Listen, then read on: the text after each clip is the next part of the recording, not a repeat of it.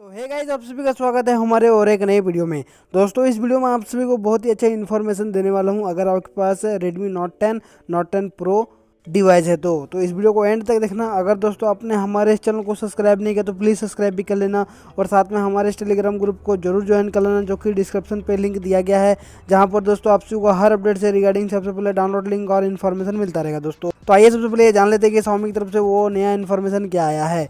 तो finally guys Redmi Note ten Note ten Pro इन दोनों device को ग्लोबल और यूरोप जैसे कंट्री में मी वाई थर्टीन का अपडेट देखने को मिल चुका है। पर ये जो अपडेट है, ये बीटा अपडेट है और हमारी इंडियन यूज़र काफ़ी ज़्यादा सवाल पूछ रहे हैं कि हमारी इंडिया में कब मिलेगा अपडेट तो गाइज़ यार, मैं आप सभी को वीडियो में आगे जाके बता दूँगा कि कब मिलेगा अपडेट फ़िलहाल के लिए ये जो अपडेट है, इसके बारे में कुछ इन्फॉर्मेशन देना चाहते हैं। अगर दोस्तों आपके पास ग्लोबल वेरिएंट या फिर यूरोप वर्जन का कोई भी डिवाइस है रेडमी नोट टेन या फिर नोट टेन प्रो तो इस डिवाइस के लिए फाइनली मी वाई थर्टीन का अपडेट को रोल आउट कर दिया गया है। अब रही बात इंडियन वेरिएंट के बारे में तो ग्लोबल में जैसे ही अभी बीटा अपडेट देखने को मिला है तो ग्लोबल में अभी स्टेबल अपडेट भी देखने को मिलेगा।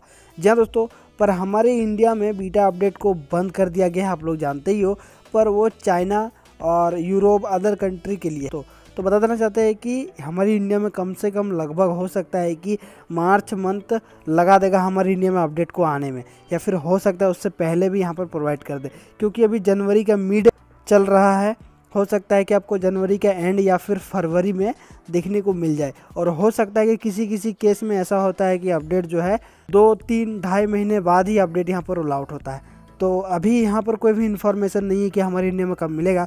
जैसे ही कोई इन्फॉर्मेशन मिलेगा, हम आप सबको ज़रूरी बताएँगे। और दोस्तों, अगर आपके पास T W R P recovery ROM अगर अपने डिवाइस में फ्लैश कर रखा है तो उसके बाद तो कोई झंझट ही नहीं लेना है।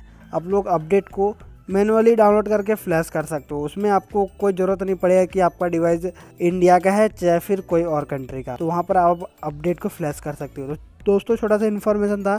और इससे रिगार्डिंग कोई भी इन्फॉर्मेशन के लिए मेरे इस चैनल को सब्सक्राइब कर लेना और टेलीग्राम ग्रुप को ज़रूर ज्वाइन कर लेना दोस्तों। आज के लिए बस इतने ही, मिलते हैं नेक्स्ट वीडियो में। जय हिंद बंदे मातरम।